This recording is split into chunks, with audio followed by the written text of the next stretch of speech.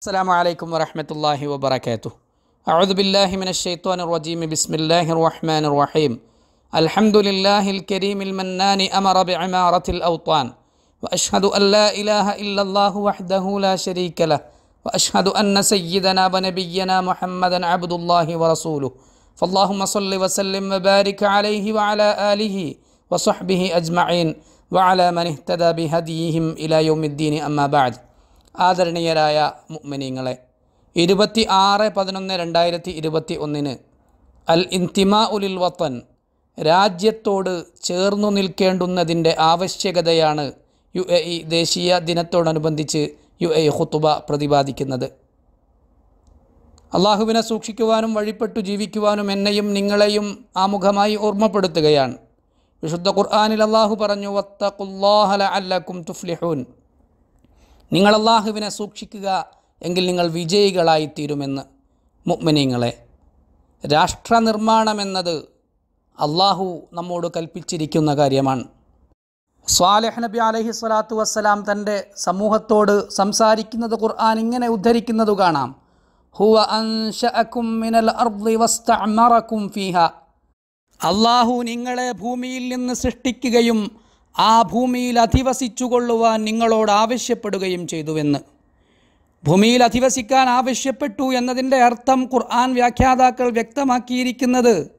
ഭൂമിയിൽ താമസത്തിനാവശ്യമായ സംവിധാനങ്ങൾ ഒരുക്കുക ചെടികളും മരങ്ങളും നട്ടുപിടിപ്പിക്കുക സഞ്ചാരപാതകൾ ഒരുക്കുക ജീവിതത്തിനാവശ്യമായ എല്ലാ കാര്യങ്ങളും സജ്ജീകരിക്കുക എന്നു തന്നെയാണ്.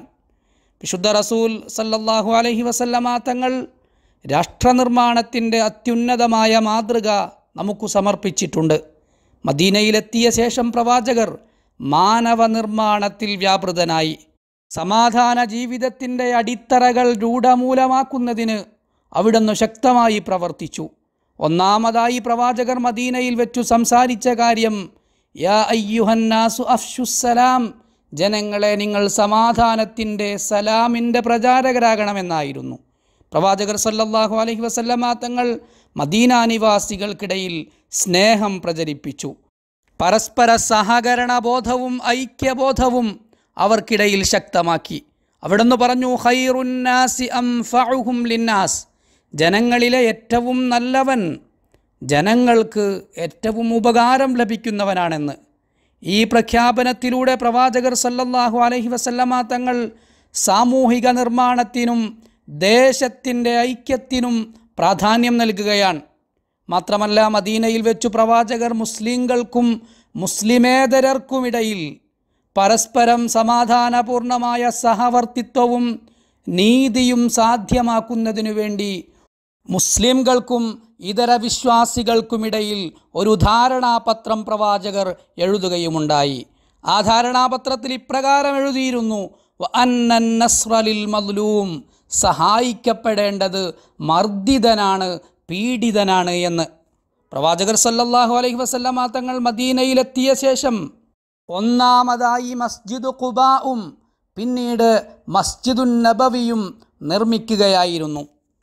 മാത്രമല്ല മദീനയുടെ നാഗരിക കാര്യങ്ങൾ പ്രവാചകരു തന്നെ തീരുമാനിച്ചു. വീടുകൾ എവിടെയായിരിക്കണമെന്ന് പ്രവാചകർ പദ്ധതിയുണ്ടാക്കി. റോഡുകളും നടപ്പാതകളും എവിടെയായിരിക്കണമെന്ന് പ്രവാചകരു തീരുമാനിച്ചു.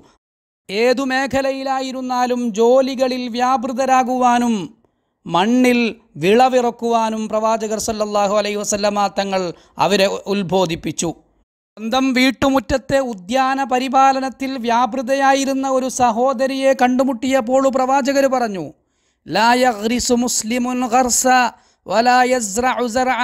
ഗർസ منه إنسان ولا دابة ولا شيء إلا كانت له صدقة.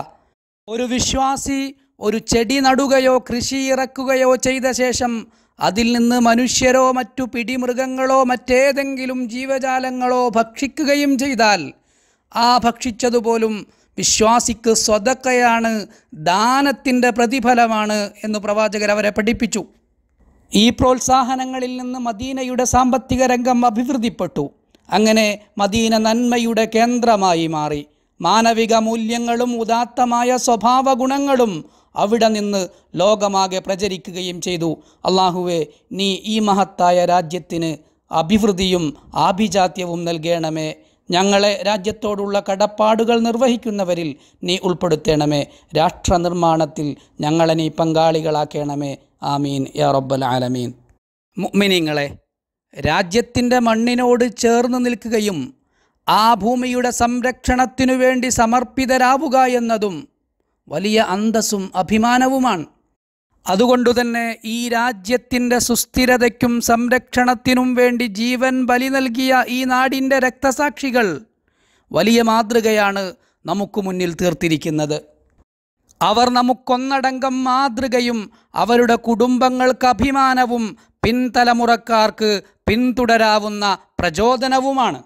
ഈ മഹത്തായ രാജ്യം അവരെ എപ്പോഴും ഓർത്തുകൊണ്ടിരിക്കുകയാണ്.